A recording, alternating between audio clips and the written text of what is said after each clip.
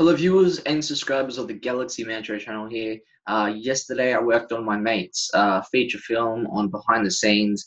Uh, got a lot of great photos and footage. Uh, can't really show you guys the footage because um, they are all organizing editing, doing the editing process of the footage of Broken Shadow. But what can I say? It was an awesome day out uh, yesterday filming uh, behind the scenes of Broken Shadow. It was a privilege doing it. It was a brilliant day, uh, and what can I say? It was a lot of fun doing it.